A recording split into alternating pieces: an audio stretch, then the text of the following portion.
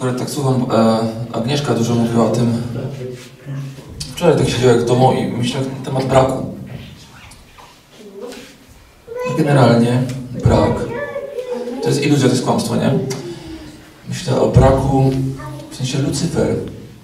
Gościu, który miał wszystko, który uwielbiał Boga. Dlaczego o tym myślałem?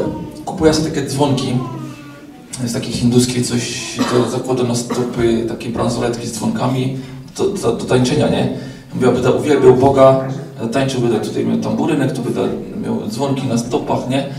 Mówię, aby uwielbiał Boga, tak jak w niebie by tam miał w swoje ciele e, jakiś montowany ten sprzęt, nie mówię, tak jak Lucyfer miał tak bębny, podobno gdzieś tam jest taki fragment, nie? Mówię, kurde, gościu miał wszystko, nie? Uwielbiał Boga, był szefem uwielbienia w niebie w ogóle. Skąd w ogóle nagle poczuł brak? Że mu czegoś brakuje? Bo ma tego, co ma Jahwe, czyli mu czegoś brakuje. I potem z tym brakiem przyszedł do ludzi. No i no, bo nie jesteście tak jak Bóg, nie? Czegoś wam brakuje. I potem człowiek żyje, że mu czegoś brakuje. Albo brakuje mu kasy, albo brakuje mu zdrowia, albo brakuje mu czasu. Cały czas jest skoncentrowany właśnie na tym, że jest jakiś brak czegokolwiek. Jakkolwiek, czegokolwiek jest brak. Czegoś jest za mało, czegoś jest nie tak, jak powinno być. Jest brak.